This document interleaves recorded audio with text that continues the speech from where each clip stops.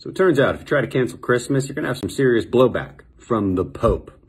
You may have heard about this. So the EU Commissioner on Equality in a leaked memo said that we should avoid using the term Merry Christmas in order to promote an inclusive communication. Now the Pope fired back and said many in history have tried to do this, including the Nazis as an example. And he said that the EU should be careful not to be vehicles of ideological colonization. Perfect response. Moral of the story, don't let the woke cancel Christmas.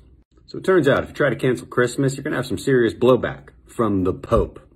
You may have heard about this. So the EU Commissioner on Equality in a leaked memo said that we should avoid using the term Merry Christmas in order to promote an inclusive communication. Now the Pope fired back and said many in history have tried to do this, including the Nazis as an example. And he said that the EU should be careful not to be vehicles of ideological colonization. Perfect response. Moral of the story, don't let the woke cancel Christmas.